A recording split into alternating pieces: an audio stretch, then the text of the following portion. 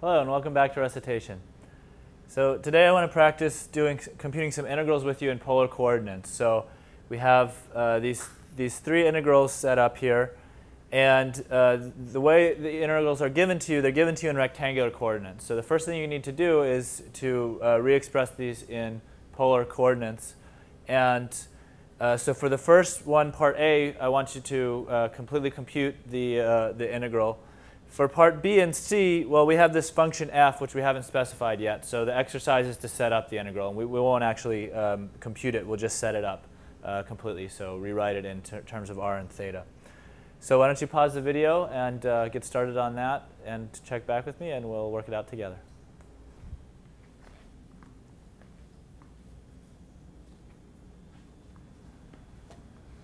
Welcome back. Let's get started. So for, for all of these, when we're, when we're transferring from uh, rectangular to polar coordinates, the, uh, somehow the most difficult part is understanding what it is that we're, what region we're integrating over. And if we can understand that, then the rest of it is just uh, straightforward calculation. So in part A, let's try to think about what this region is that, that we're given. So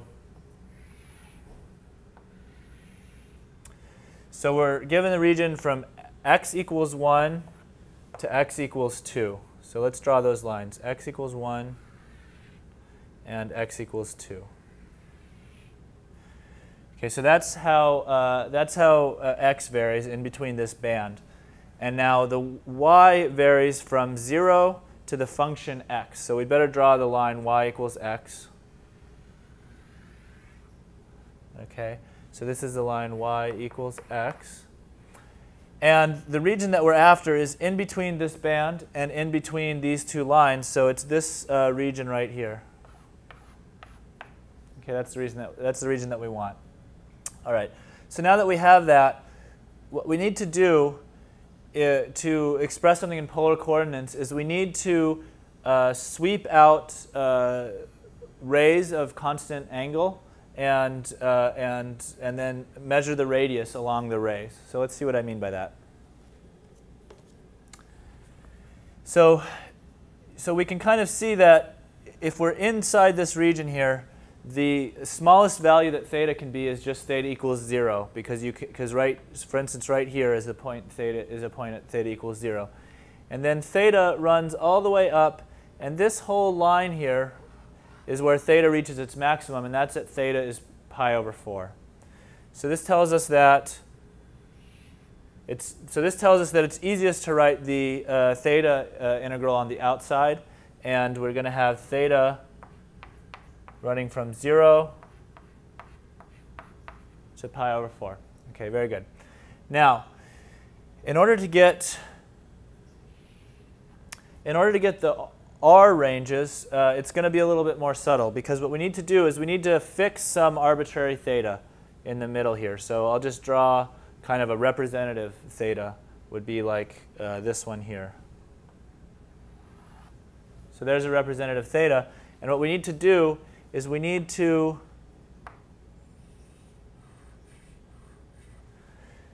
we need to describe how r varies along this pink line here. So uh, that's, that's the line that we really want. Okay, so in order to do that, uh, we just need to do some simple trigonometry now. So, uh, so let's see, so r turns on at this line right here, at the line x equals 1. That's where r turns on. So let's see what, um, what the value of r is at that line here. So the point is that we have, uh, so let me draw this triangle here. Uh, let me blow this triangle up.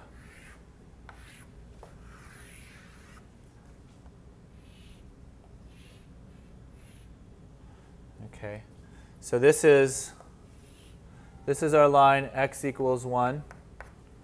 And this is our triangle. Uh, this is this triangle here. We just put a magnifying glass on it. So we have this angle theta. And okay, if we look at, um, so this x value is 1 because we're, uh, because we're on the line x equals 1. So the, the, uh, the length of this leg is 1, and this is r that we're after.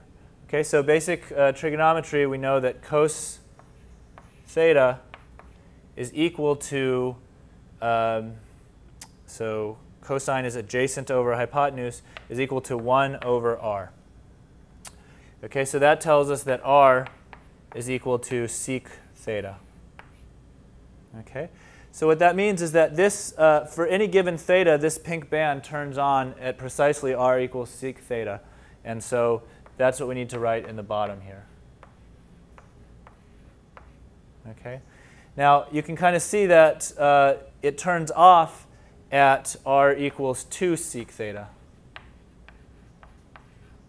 because now instead of going over uh, length 1, we go over length 2. And so our integral becomes uh, integral from 0 to pi over 4, uh, r equals sec theta to 2 sec theta. Okay, and now we uh, need to re-express our original function in terms of r and theta. So our original function was, um, so let's go back over to the, uh, the um, formula here. So we have x squared plus y squared to the 3 halves. So x squared plus y squared to the 1 half, that's r. And so x squared plus y squared to the 3 halves, that's r cubed. So this is 1 over r cubed. So uh, this is 1 over r cubed in here. And as we know, dy dx becomes r dr d theta. Okay, so this is the this is the integral that we need to compute. And now that we've done all the geometry, this is, uh, this is going to be a straightforward integral to compute. So let's do it together. So just rewrite it over here. So we have theta running from 0 to pi over 4, and r running from sec theta to 2 sec theta. And we have uh, 1 over r squared dr d theta. Okay. So that equals, uh, so we have, taking the inside integral first, we get uh, negative 1 over r from 2 sec theta to sec theta. Okay. And uh, now this is nice because uh, sec theta, if we plug it in for 1 over r, it's just going to turn back into a cosine, right? So this is just the integral from theta equals 0 to pi over 4. Okay, because we have this minus sign here, we're going to get cos theta minus 1 over 2 sec theta becomes uh, 1 half cos theta.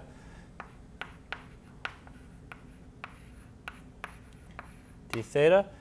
And this we can compute to be uh, the square root of 2 over 4. So this is, uh, this is an elementary integral that we could compute, square root of 2 over 4. Okay, so, and, and that's it. That's all there is to A. So notice that the, the difficult part is, is, uh, is figuring out how the boundary curves of your original region re-express in the r and theta coordinates. So uh, let's see if we can get more practice with that on, uh, on parts B and C. So in part B, let me just recall, we're, we're taking the integral x equals 0 to 1, y equals x squared to x, f dy dx. So let's draw this region again. So uh, the bottom curve is y equals x squared. And the top curve is y equals x. And x runs from 0 to 1. So this is the region that we're after. Okay. So once again, in this case, it's pretty easy to figure out the theta, uh, the, the range for theta. Because you see, this parabola here, as it approaches the origin, it becomes flat. So the, the theta uh, as we get closer and closer to the origin is 0. So, so the uh, initial um, the initial bound for theta is 0. Uh, it doesn't matter that we have this curve here. It's still 0. And then the top bound, again, is pi over 4. Okay? Now, for this curve, uh, y equals x squared, what we just have to do is we just have to use our uh, change of coordinates, or polar change of coordinates, and re-express this curve. So y equals x squared. Well, y is r sine theta. And x is r cos theta, so this is altogether r squared uh, cos squared theta. Okay? And now all we need to do is just solve uh, for r here. So we get r equals, so I can cancel that r with that one. And it looks to me like we get r equals tan theta sec, secant theta by solving. Okay. So, so that's the r value at each of these points along the curve. Uh, so that is going to be our top bound. So if we draw if we draw little segments of constant theta, they all start at r equals 0 because uh, we have this, this sharp point here at the origin. And, uh, and they all stop at this curve, r equals tan theta sec theta.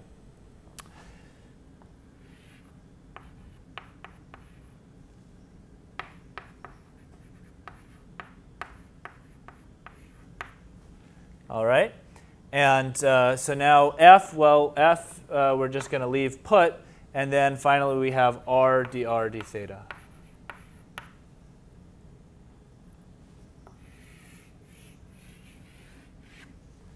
Okay, so that's our answer to B. All right. Now, uh, C is going to be a little bit tricky. Uh, what, what's tricky about C is drawing the picture, but, uh, but we'll, we'll see what we can do about that. So let me just remind you, y range range from 0 to 2, and x ranges from 0 to the square root of 2y minus y squared.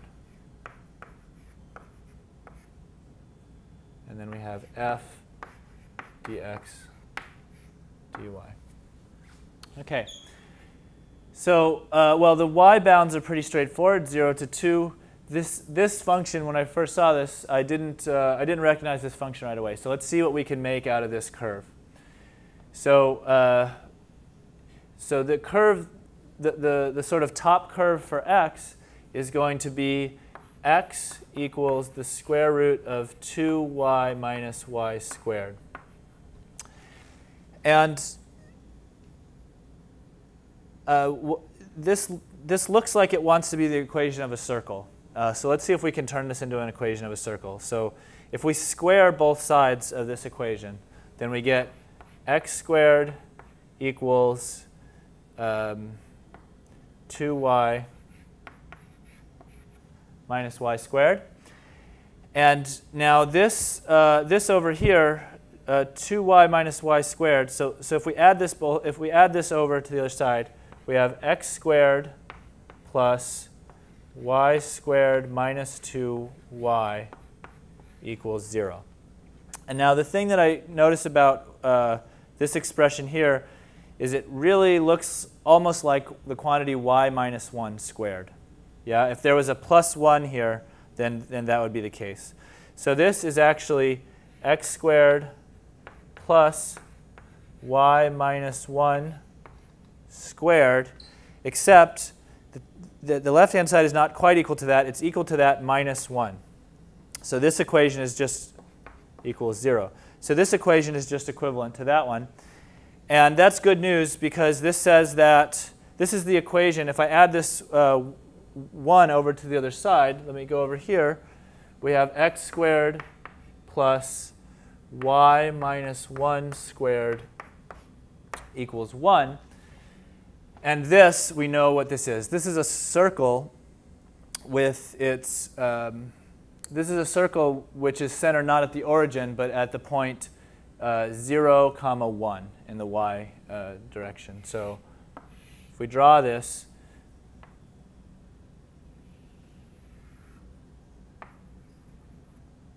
this is, um, this is the, well, this is the equation for the entire circle. But we only want the positive half because, uh, because we were told that x starts at 0 and goes up to this positive number. So we only want the positive half here. Okay, so so this is the region that we're integrating, and now, now that we know this, we can, we can again figure out the values of theta and the values of r. So, um, so first of all, theta is going to range again from 0 because this, uh, this bottom curve, as it comes into the origin, it comes in flat. So uh, we have points of, of arbitrarily small angles. So theta is going to start at 0. And theta is going to go all the way up until pi over 2 because it's because uh, theta can be pointing straight up. Okay? And uh, now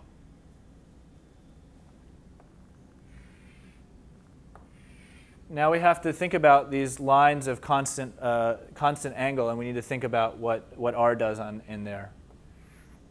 So we can see from the picture that r always starts at 0, and, so, and it stops at, at this curve. So we need to figure out what the r value is along this curve in terms of theta. So uh, what we want to do is use uh, the equation. So we had it over here. So x squared uh, plus y squared minus 2y equals 0. So that was, that was one of the equivalent equations that we got for our curve. And now this is nice because this here is just r squared, isn't it? So this is r squared. And uh, this is minus 2y.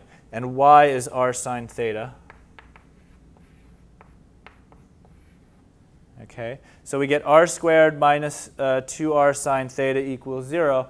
Solving this for r, we get that r is just 2 sine theta.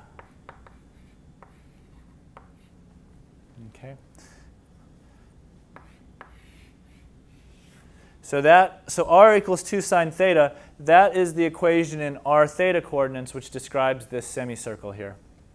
And so altogether we get uh, the range is from r equals 0 to r equals 2 sine theta.